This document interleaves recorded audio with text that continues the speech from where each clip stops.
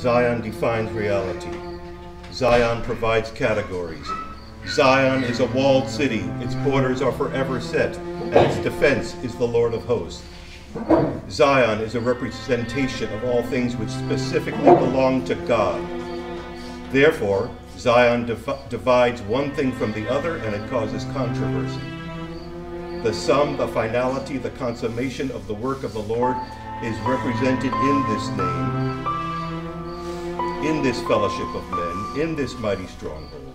And this city is forever established as a refuge for each and every man who has lost confidence in earthly prowess and bravado. This city defines reality. This city constitutes fellowship and provides identity. So do every city according to its own rule and capacity. This city, Zion, is a people who stand in the good of the completed, the perfect work of Jesus Christ.